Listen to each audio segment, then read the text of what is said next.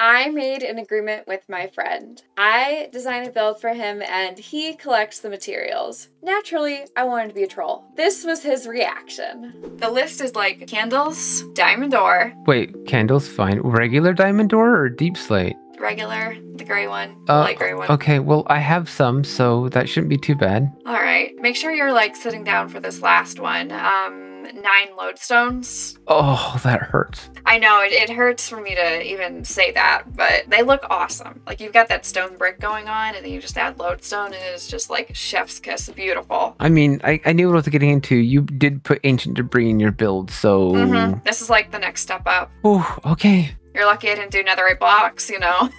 Oh, I think my heart just jumped out of my chest. Please don't. if you liked what you saw, subscribe to my channel for more shenanigans in building.